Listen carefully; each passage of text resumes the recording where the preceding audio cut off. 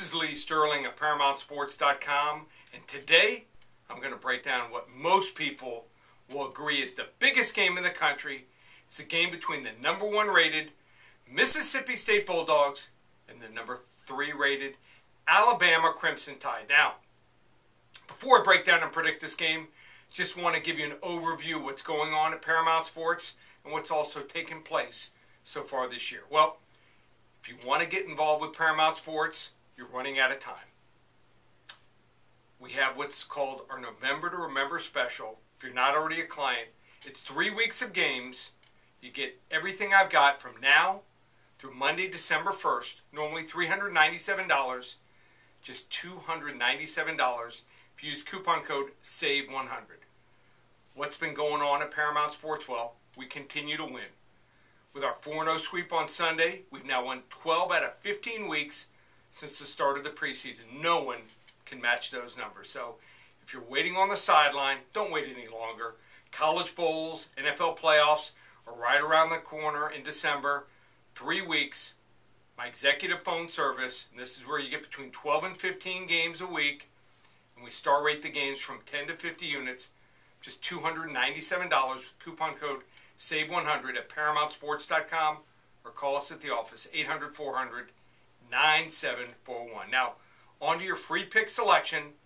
It's a game between the Alabama Crimson Tide at home, laying 8.5 points to the Mississippi State Bulldogs. Now, Alabama is dominant at home.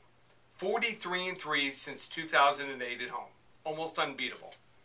Alabama won last year. That game was in Starkville, 20 to 7.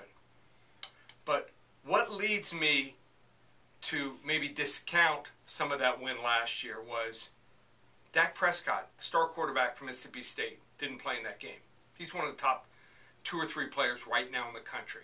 Dual threat quarterback, very tough to game plan against. He is their emotional leader, and they believe in him. When he's on the field, they can do anything. Alabama's beaten up. They have played three wars in the last five weeks. TJ Yeldon, he's not 100%. He'll play, but he has an ankle injury. Alabama also, uncharacteristically, has fumbled the ball 11 times this year. Just like last year, kicking games is just absolutely awful and has cost them and will continue probably to haunt them.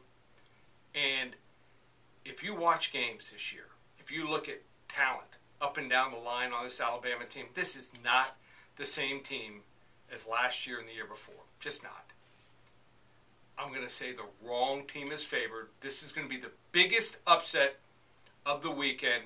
Mississippi State's been waiting for this game. They practically had a bye last week. They're rested, they've been game planning, and they also have the talent and the experience of a lot of junior and senior starters to pull it off. The wrong team is favored. Mississippi State upsets Alabama in Tuscaloosa on Saturday, 28 24. Take Mississippi State. You want to get involved with Paramount Sports? Start winning today? ParamountSports.com or 800 400 9741.